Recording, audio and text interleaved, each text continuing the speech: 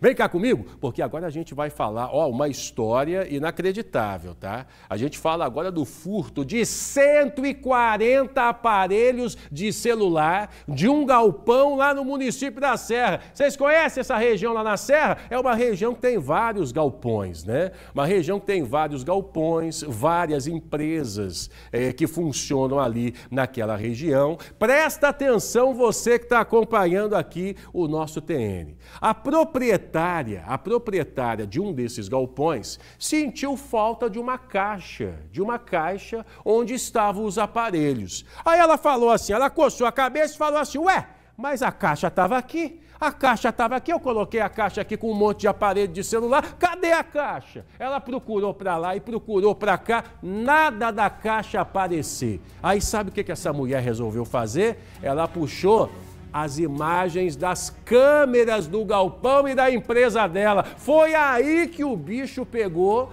e ela conseguiu descobrir. Sabe o que ela descobriu? Sabe o que ela descobriu? Sabe quem estava envolvido nessa treta, nesse crime lá no galpão? Eu vou. Ó. Oh, a Suzy Faria, a nossa delegada, está em cima desse caso e vai contar para a gente. Ô Suzy, tá todo mundo curioso, hein? Tá todo mundo querendo saber quem é que estava envolvido no furto desses 140 celulares. Que vai gostar de celular assim lá no galpão, né, minha filha?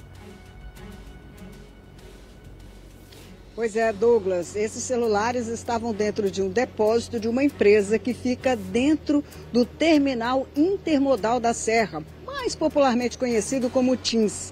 Pois bem, estava dentro de uns pallets. E de repente, na hora de fazer algumas conferências, viram que esse pallet estava mexido.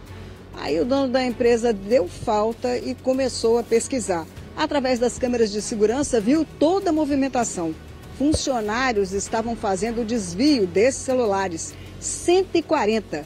Todos de uma marca muito famosa, da Apple. E sabe quanto é que eles estão avaliados? 510 mil reais, ou seja, meio milhão de reais.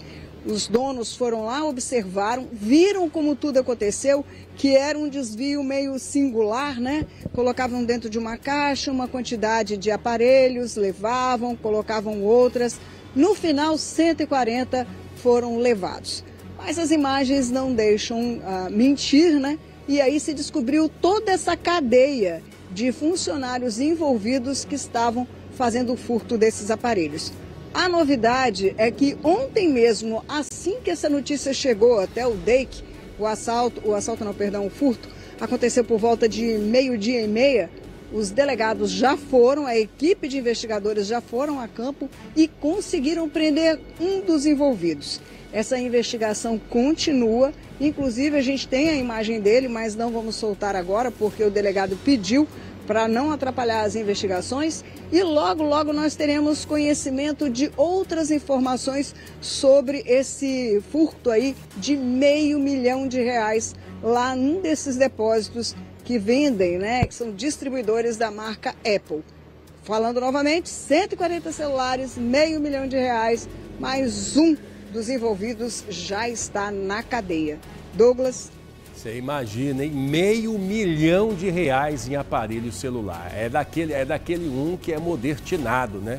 É daquele celular que é modertinado pra caramba. Daqui a pouco a Suzy vai trazer mais informações desse caso para você que está aí nos acompanhando no TN. Eu peço a sua atenção, porque um crime desse é um negócio que não pode deixar barato, né? Segura aí que em instantes a delegada está de volta. Obrigado, hein, Suzy?